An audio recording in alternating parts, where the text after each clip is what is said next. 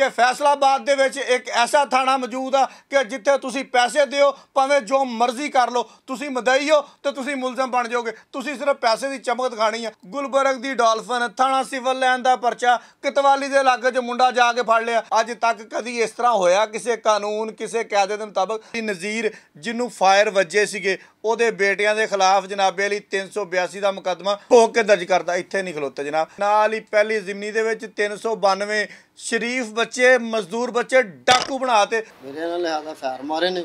ਉਸ ਤੋਂ ਬਾਅਦ ਮੇਰੇ ਮਤਲਬ ਕਿ ਬੱਚੇ ਦੇ ਨੂੰ ਇਹਨਾਂ ਨੇ ਬਾਅਦ ਪਰਚਾ ਦਿੱਤਾ ਜੇ। ਮੈਨੂੰ ਫਿਰ ਧਮਕੀਆਂ ਮਿਲ ਰਹੀਆਂ ਨੇ ਪੁਲਿਸ ਨਾਲ ਆ ਰਹੀ ਆ ਜਾਂ। ਕੋਈ ਵੀ ਹਮਾਰੇ ਨੁਕਸਾਨ ਹੁੰਦਾ ਹੈ ਹਮੇ। ਜ਼ਿੰਮੇਦਾਰ ਹਮਾਰੀ ਮੁਕਾਮੀ ਪੁਲਿਸ ਹੋਗੀ ਸਲਾਮ ਆ ਸੀਪੀਓ ਸਾਹਿਬ ਤੁਹਾਨੂੰ ਕਿ ਤੁਸੀਂ ਕਿਸੇ ਆਮ ਬੰਦੇ ਦੀ ਫੌਰੀ ਤੌਰ ਤੇ ਗੱਲ ਸੁਣ ਲਈ। ਰਹਿਮਾਨ ਕਾਦਰ ਸਾਹਿਬ ਨੂੰ ਗੱਲ ਦਾ ਪਤਾ ਲੱਗ ਜਾਂਦਾ ਵਾ ਕਿਹੜੇ ਕਿਹੜੇ ਬੰਦੇ ਨੇ ਬੋਤਲਾਂ ਦੇ ਪੈਟ ਲਏ ਕਿਹੜੇ ਕਿਹੜੇ ਬੰਦੇ ਨੇ ਪੈਸੇ ਲਏ। ਅਸਲਾਮ ਅਲੈਕੁਮ। ਅੱਛਾ, ਮੈਂ ਤੁਹਾਨੂੰ ਫੈਸਲਾਬਾਦ ਦੇ ਇੱਕ ਅਨੋਖੇ ਥਾਣੇ ਦੀ ਗੱਲ ਸੁਣਾਉਣ ਲੱਗਾ ਵਾਂ, ਜਿੱਥੇ ਜਨਾਬੇ ਅਲੀ ਕੋਈ ਥੋੜੇ ਬਹੁਤੇ ਤੁਸੀਂ ਪੈਸੇ ਦਿਓ ਨਾ, ਅਗਰ ਤੁਸੀਂ ਕਿਸੇ ਹੋਰ ਥਾਣੇ ਦੇ ਵਿੱਚ ਮੁਲਜ਼ਮ ਹੋ ਨਾ, ਤੇ ਸਾਡੇ ਕੋਲ ਕਿਦਾਂ ਦਾ ਥਾਣਾ ਮੌਜੂਦ ਆ ਕਿ ਉਹ ਤੁਹਾਨੂੰ ਮਦਈ ਬਣਾ ਦਿੰਦਾ ਵਾ ਉਹਨਾਂ ਹੀ ਬੰਦਿਆਂ ਦੇ ਖਿਲਾਫ ਜਿਨ੍ਹਾਂ ਦੇ ਤੁਸੀਂ ਮੁਲਜ਼ਮ ਹੁੰਦੇ ਹੋ। ਗੱਲ ਸੁਣਾਉਣ ਲੱਗਾ ਜਨਾਬੇ ਅਲੀ, ਥਾਣਾ ਸਿਵਲ ਲਾਈਨ ਦੀ ਤੁਹਾਨੂੰ। ਸਭ ਤੋਂ ਪਹਿਲੇ ਪਿੱਛੇ ਚੱਲਦੇ ਆ ਥੋੜਾ ਜਿਹਾ ਇਹਨਾਂ ਬੰਦਿਆਂ ਦੀ ਗੱਲ ਸੁਣੋ ਇੱਕ ਵਾਰੀ। ਥਾਣਾ ਸਰਗੋਦਾ ਰੋਡ ਦਾ ਰਹਿਣ ਵਾਲਾ, ਮੇਰੇ ਨਾਲ ਲਿਆਦਾ ਫੈਰ ਮਾਰੇ ਨੇ।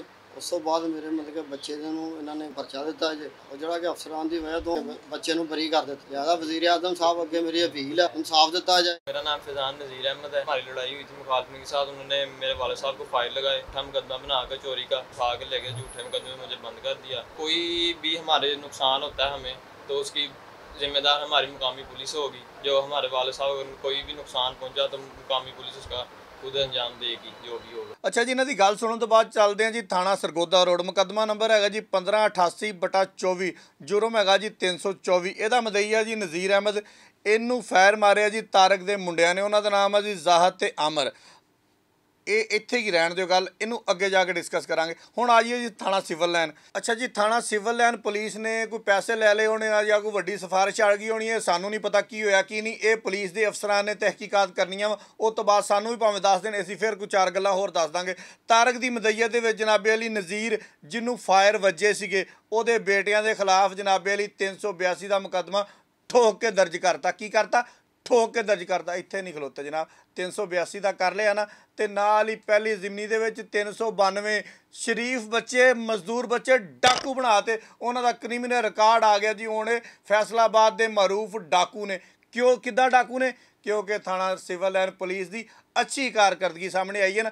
ਇਹੀ ਜਨਾਬੇ ਵਾਲੀ ਸੋਸ਼ਲ ਮੀਡੀਆ ਤੇ ਲਾਇਆ ਹੋਣਾ, ਹਮਨੇ ਡਾਕੂ ਗ੍ਰਿਫਤਾਰ ਕਰ ਲਈਏ। ਬਈ ਡਾਕੂ ਤਾਂ ਤੁਸੀਂ ਪੈਸੇ ਲੈ ਕੇ ਬਣਾਈ ਜਾਂਦੇ ਹੋ। ਜਨਾਬ ਸਰਗੋਦਾ ਰੋਡ ਕਿਸੇ ਨੇ ਚੈੱਕ ਨਹੀਂ ਕੀਤਾ, ਕਿਸੇ ਨੇ ਨਹੀਂ ਦੇਖਿਆ। ਜਨਾਬ ਜਿਹੜੇ ਤਾਰਕ ਸਾਹਿਬ ਨੇ, ਇਹਨਾਂ ਦੇ ਨਿਆਣਿਆਂ ਨੇ ਫੈਰ ਮਾਰੇ ਹੋਏ ਆ ਨਜ਼ੀਰ ਨੂੰ। ਹੁਣ ਜਨਾਬੀ ਅਲੀ ਇਹ ਮਦਈ ਬਣ ਗਏ ਨੇ ਤੁਹਾਡੇ। ਖੈਰ ਅੱਗੇ ਚਲੋ, ਇਹ ਤੁਹਾਨੂੰ ਮੈਂ ਹੁਣ ਦਾਸਤਾਨ ਸੁਣਾਵਾਂਗਾ, ਸਾਰੀ ਲੱਭੀ ਤੇ ਖੋਲ ਕੇ ਰੱਖਾਂਗਾ। ਕਿਹੜੇ ਕਿਹੜੇ ਬੰਦੇ ਨੇ ਬੋਤਲਾਂ ਦੇ ਪੈਟ ਲਏ, ਕਿਹੜੇ ਕਿਹੜੇ ਬੰਦੇ ਨੇ ਪੈਸੇ ਲਏ, ਕਿਹੜਾ ਕਿਹੜਾ ਬੰਦਾ ਇਹਦੇ ਵਿੱਚ ਇਨਵੋਲਵ ਅੱਗੇ ਚੱਲਦੇ ਹਾਂ ਜ਼ਰਾ ਜੀ। ਅੱਛਾ ਜੀ, ਫੇਰ ਉਸ ਤੋਂ ਬਾਅਦ ਪੈਸੇ ਚਲੇ ਗਏ ਥੋੜੇ ਜਿਹੇ ਪੈਸੇ ਕਰ ਲੈਣਾ ਥੋੜੇ ਜਿਹੇ ਪੈਸੇ ਚਲੇ ਗਏ ਜਨਾਬ ਥਾਣਾ ਗੁਲਬਰਗ ਵੱਲ ਨੂੰ। ਗੁਲਬਰਗ ਦੀ ਡਾਲਫਨ ਆਂਦੀ ਹੈ ਜਨਾਬੇ ਵਾਲੀ, ਉਸ ਮੁੰਡੇ ਨੂੰ ਫੜਦੀ ਆ ਕਤਵਾਲੀ ਦੇ ਇਲਾਕੇ ਚੋਂ। ਫੜ ਕੇ ਲੈ ਜਾਂਦੀ ਹੈ ਜੀ, ਆਪਣੇ ਥਾਣੇ ਫਿਜ਼ਾਨ ਬਹੁਤ ਵੱਡਾ ਡਾਕੂ ਆ ਨਾ, ਉਹਨੂੰ ਫੜ ਕੇ ਲੈ ਜਾਂਦੀ ਆਪਣੇ ਥਾਣੇ, ਜਿਹਦਾ ਕੋਈ ਹਲੇ ਤੱਕ ਕ੍ਰਿਮੀਨਲ ਰਿਕਾਰਡ ਨਹੀਂ ਬਣਿਆ, ਕੋਈ ਗੱਲਬਾਤ ਨਹੀਂ ਹੈਗੀ, ਕਿਉਂਕਿ ਪੈਸੇ ਦੀ ਚਮਕ ਆ। ਲੈ ਕੇ ਥਾਣੇ ਗੁਲਬਰਗ ਚਲ ਜਾਂਦੀ ਹੈ, ਗੁਲਬਰਗ ਵਾਲੇ ਮੁੰਚੀ ਸਾਹਿਬ ਜਨਾਬੇ ਵਾਲੀ, ਉਹਨਾਂ ਨੂੰ ਥਾਣਾ ਸਿਵਲ ਲਾਈਨ ਭੇਜ ਦਿੰਦੇ ਆ, ਫਜ਼ਾਨ ਜਿਹੜਾ ਲੜਕਾ ਵਾ। ਹੁਣ ਤੁਸੀਂ ਮੈਨੂੰ ਇਹ ਗੱਲ ਦੱਸੋ, ਗੁਲਬਰਗ ਦੀ ਡਾਲਫਨ ਥਾਣਾ ਸਿਵਲ ਲਾਈਨ ਦਾ ਪਰਚਾ ਕਿਤਵਾਲੀ ਦੇ ਲਾਗੇ 'ਚ ਮੁੰਡਾ ਜਾ ਕੇ ਫੜ ਲਿਆ। ਅੱਜ ਤੱਕ ਕਦੀ ਇਸ ਤਰ੍ਹਾਂ ਹੋਇਆ, ਕਿਸੇ ਕਾਨੂੰਨ, ਕਿਸੇ ਕਾਇਦੇ ਦੇ ਮੁਤਾਬਕ? ਜਨਾਬ, ਇਸ ਤਰ੍ਹਾਂ ਨਹੀਂ ਹੁੰਦਾ। ਲੇਕਿਨ ਕੀ ਰੌਲਾ ਵਾ, ਪੈਸੇ ਦੀ ਚਮਕ ਆ। ਅੱਜ ਤੱਕ ਇਦਾਂ ਵੀ ਨਹੀਂ ਹੁੰਦਾ ਦੇਖਿਆ ਹੋਵੇਗਾ ਤੁਸੀਂ ਕਿ ਜਿਹੜਾ ਜਨਾਬੇ ਵਾਲੀ ਮੁਲਜ਼ਮ ਆ, ਉਹ ਮਦਈ ਬਣ ਜਾਵੇ। ਜਿਹੜਾ ਮਦਈ ਆ, ਉਹ ਮੁਲਜ਼ਮ ਬਣ ਜਾਵੇ, ਨਹੀਂ ਹੁੰਦਾ। ਲੇਕਿਨ ਫੈਸਲਾਬਾਦ ਦੇ ਵਿੱਚ ਲੂੜ ਸੇਲ ਲੱਗੀ ਆ। ਅਗਰ ਕਿਸੇ ਨੇ ਕਰਵਾਉਣਾ ਵਾ ਤੇ ਆ ਨਾਲ ਹੀ ਥਾਣਾ ਸਿਵਲ ਲੈਣਾ, ਪਹੁੰਚੋ ਫਟਾਫਟ ਜਨਾਬੇ ਵਾਲੀ ਜਾ ਕੇ, ਜਿਹੜੇ ਮਦਈ ਆ, ਉਹ ਮੁਲਜ਼ਮ ਬਣ ਜਾਓ। ਅੱਛਾ ਜੀ, ਅਗਰ ਕਿਤੇ ਮੈਂ ਗਲਤ ਹੋਵਾਂ ਤੇ ਪੁਲਿਸ ਦੇ ਆਲਾ ਅਫਸਰਾਂ ਜਾਂ ਕੋਈ ਛੋਟੇ ਮੋਟੇ ਅਫਸਰਾਂ ਮੇਰੀ ਇਸਲਾਹ ਜ਼ਰੂਰ ਕਰ ਦੇਣ ਕਿ ਡਾਲਫਨ ਪੁਲਿਸ ਅੱਗੇ ਕਿਦੋਂ ਜਾ ਕੇ ਰੇਡ ਕਰਦੀ ਆ ਕਿਤੋਂ ਜਾ ਕੇ ਮੁਲਜ਼ਮ ਫੜਦੀ ਹੈ? ਇਹਦੇ ਐਸਓਪੀਜ਼ ਕੀ ਨੇ? ਜਿਹੜੇ ਸਾਨੂੰ ਪਤਾ ਵਾ, ਉਹ ਤਾਂ ਇਹ ਪਤਾ ਵਾ ਕਿ ਚੈਕਿੰਗ ਕਰਦੀ ਹੈ 15 ਦੀ ਕਾਲ ਤੇ ਜਾਣੀ ਆ। ਅੱਗੇ ਕੋਈ ਉਹਨਾਂ ਨੂੰ ਮਸ਼ਕੂਕ ਬੰਦਾ ਵੇਖਿਆ, ਉਹ ਵੇਖ ਕੇ ਫੜ ਲੈਣਾ। ਇਹ ਥੱਲੇ ਸੀਸੀਟੀਵੀ ਵੇਖੋ। ਸੀਸੀਟੀਵੀ ਫੁਟੇਜ ਦੇ ਵਿੱਚ ਜਨਾਬ ਡਾਲਫਨ ਵਾਲੇ ਇੰਜ ਜਾ ਕੇ ਫੜਨ ਦੇ ਆ ਕਿ ਉਹਨਾਂ ਨੂੰ 15 ਦੀ ਕਾਲ ਆਈ, ਕੀ ਹੈ ਖੈਰ, ਇਹ ਸਲਾਹ ਤੁਸੀਂ ਕਰਨੀ ਅੱਛਾ ਜੀ, ਜਦੋਂ ਫਜ਼ਾਨ ਜਿਹੜਾ ਮੁੰਡਾ ਨਾ, ਉਹਨੂੰ ਡਾਲਫਨ ਵਾਲਿਆਂ ਨੇ ਗ੍ਰਿਫਤਾਰ ਕਰਕੇ ਸਿਵਲ ਲਾਈਨ ਦੇ ਵਿੱਚ ਫੜਾਤਾ, ਤੇ ਇਹਦਾ ਜਿਹੜਾ ਨਜ਼ੀਰ ਆ ਨਾ, ਉਹ ਵਿਚਾਰਾ ਬਹੁਤਾ ਹੀ ਸਿੱਧਾ ਜਿਹਾ ਵਾ, ਉਹ ਜਿਹੜਾ ਸਾਈਂ ਜਿਹਾ ਵਾ। ਉਹਨੂੰ ਨਹੀਂ ਪਤਾ ਕਿ ਮੇਰਾ ਮੁੰਡਾ ਡਾਕੂ ਆ। ਮੇਰੇ ਮੁੰਡੇ ਤੇ ਡਕੇਟੀ ਦਾ ਪਰਚਾ ਵਾ। ਉਹ ਜਨਾਬੇ ਲਈ ਇੱਕ ਦਰਖਾਸਤ ਲੈਂਦਾ, ਜਾ ਕੇ ਸੀਪੀਓ ਸਾਹਿਬ ਕੋਲ ਚਲ ਜਾਂਦਾ। ਸਲਾਮ ਆ ਸੀਪੀਓ ਸਾਹਿਬ ਤੁਹਾਨੂੰ ਕਿ ਤੁਸੀਂ ਕਿਸੇ ਆਮ ਬੰਦੇ ਦੀ ਫੌਰੀ ਤੌਰ ਤੇ ਗੱਲ ਸੁਣ ਲਈ। ਖੈਰ ਜੀ ਸੀਪੀਓ ਸਾਹਿਬ ਭੇਜ ਦਿੰਦੇ ਜੀ ਐਸਪੀ ਲੈਲਪੁਰ ਟਾਊਨ ਰਹਿਮਾਨ ਕਾਦਰ ਸਾਹਿਬ ਕੋ ਰਹਿਮਾਨ ਕਾਦਰ ਸਾਹਿਬ ਗੱਲ ਸੁਣਦੇ ਆ, ਰਹਿਮਾਨ ਕਾਦਰ ਸਾਹਿਬ ਨੂੰ ਗੱਲ ਦਾ ਪਤਾ ਲੱਗ ਜਾਂਦਾ ਵਾ ਕਿ ਮੇਰੇ ਪੁਲਿਸ ਵਾਲੇ ਨੇ ਪੈਸੇ ਲਏ ਆ, ਜਿਹੜੇ ਮੇਰੇ ਥੱਲੇ ਕਰਪਟ ਲੋਕ ਬੈਠੇ ਹੋਏ ਆ, ਇਹਨਾਂ ਨੇ ਪੈਸੇ ਲੈ ਕੇ ਸ਼ਰੀਫ ਸ਼ਹਿਰੀ ਨੂੰ ਡਾਕੂ ਬਣਾਇਆ ਵਾ, ਗੁਲਬਰਗ ਵਾਲਿਆਂ ਨੇ ਪੈਸੇ ਲੈ ਕੇ ਬੰਦਾ ਫੜਿਆ ਵਾ, ਸਾਰੀ ਗੱਲ ਦੀ ਸਮਝ ਆ ਗਈ ਹੈ। ਲੇਕਿਨ ਅਫਸੋਸ ਕਿ ਰਹਿਮਾਨ ਕਾਦਰ ਸਾਹਿਬ, ਤੁਸੀਂ ਕੋਈ ਕੋਈ ਕਾਰਵਾਈ ਨਹੀਂ ਕੀਤੀ। ਤੁਸੀਂ ਫੜਿਆ ਜੀ ਡੀਐਸਪੀ ਨੂੰ ਮਾਰ ਕਰਤੀ।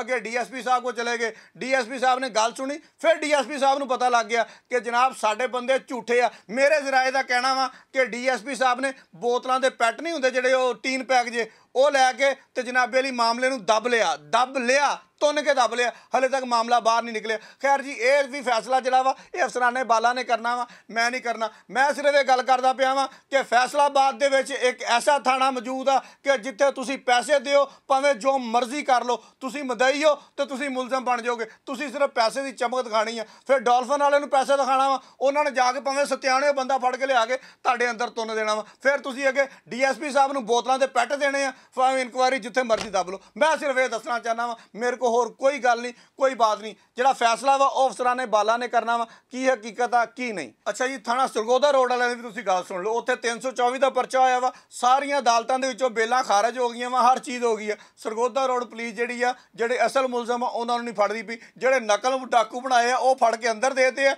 ਜਿਹੜੇ ਅਸਲ ਮੁਲਜ਼ਮ ਉਹ ਬਿਲਕੁਲ ਨਹੀਂ ਫੜੇ ਜਾ ਰਹੇ। ਮੈਂ ਜਨਾਬ chief justice of Lahore high court ਤੇ chief justice of supreme court ਨੂੰ ਇੱਕ ਰਿਕਵੈਸਟ ਕਰਾਂਗਾ ਕਿ ਫੈਸਲਾਬਾਦ ਦੇ ਵਿੱਚੋਂ ਜਨਾਬ ਬਿਲਕੁਲ ਅਦਾਲਤਾਂ ਸਾਰੀਆਂ ਖਤਮ ਕਰ ਦਿਓ। ਸਾਨੂੰ ਬਿਲਕੁਲ ਇਹਨਾਂ ਦੀ ਲੋੜ ਨਹੀਂ ਹੈਗੀ, ਕਿਉਂਕਿ ਸਾਡੇ ਕੋਲ ਇਦਾਂ ਦੇ ਥਾਣੇ ਮੌਜੂਦ ਹੈਗੇ ਆ, ਜਿੱਥੇ ਤੁਸੀਂ ਪੈਸੇ ਦੇ ਕੇ ਜੋ ਮਰਜ਼ੀ ਕਰੀ ਜਾਓ। ਅਸੀਂ ਜਨਾਬ ਤੁਹਾਡੀਆਂ ਅਦਾਲਤਾਂ ਕੋ ਕੀ ਲੈਣਾ ਵਾ? 6-6 ਮਹੀਨੇ, ਸਾਲ-ਸਾਲ ਮਹੀਨੇ, ਸਾਲ-ਸਾਲ ਲੱਗ ਜਾਂਦੇ ਆ, ਮੁਕੱਦਮਾ ਲਟਕਦੇ ਰਹਿੰਦੇ ਆ। ਇੱਥੇ ਜਨਾਬੇ ਵਾਲੀ ਟੇਬਲ ਦੇ ਥੱਲੋਂ ਦੀ ਜਾ ਕੇ ਪੈਸੇ ਫੜਾਓ ਤੇ ਜਿਹੜਾ ਮੁਲਜ਼ਮ ਆ, ਉਹਨੂੰ ਮਦਈ ਬਣਾ ਲਓ, ਜਿਹੜਾ ਮਦਈ ਆ, ਉਹਨੂੰ ਮੁਲਜ਼ਮ ਬਣਾ ਲਓ ਤੇ ਜਨਾਬ ਆਪਾਂ ਇੱਥੇ ਅਦਾਲਤਾਂ ਕਦੋਂ ਬਣਾਈਆਂ। ਮੈਂ ਵਕਲਾ ਸਹਿਬਾਨ ਨੂੰ ਸਾਰਿਆਂ ਨੂੰ ਕਵਾਂਗਾ ਕਿ ਸਰ, ਤੁਸੀਂ ਵੀ ਕੋਈ ਹੋਰ ਕੰਮ ਲੱਭੋ। ਆਪਾਂ ਕੋਈ ਹੋਰ ਕੰਮ ਕਰੀਏ। ਫੈਸਲਾਬਾਦ ਦੇ ਵਿੱਚ ਘੱਟ ਤੋਂ ਘੱਟ ਤੁਹਾਡਾ ਕੰਮ ਨਹੀਂ ਰਹਿ ਗਿਆ। ਕਿਉਂਕਿ ਥਾਣਾ ਸਿਵਲ ਲਾਈਨ ਮੌਜੂਦ ਆ। ਅੱਛਾ ਜੀ, ਉਹਨਾਂ ਦਾ ਐਂਡ ਕਰੀਏ ਮੇਰਾ ਖਿਆਲ। ਆ ਤੇ ਜਨਾਬ, ਜਿਹੜਾ ਫਿਜ਼ਾਨ ਸੀਗਾ, ਉਹਨੂੰ ਤਾਂ ਜਨਾਬੇ ਵਾਲੀ ਅਦਾਲਤ ਨੇ ਡਿਸਚਾਰਜ ਕਰਤਾ, ਕਿਉਂਕਿ ਉਹ ਡਾਕੂ ਨਹੀਂ ਸੀਗਾ, ਸ਼ਰੀਫ ਸ਼ਹਿਰੀ ਸੀਗਾ।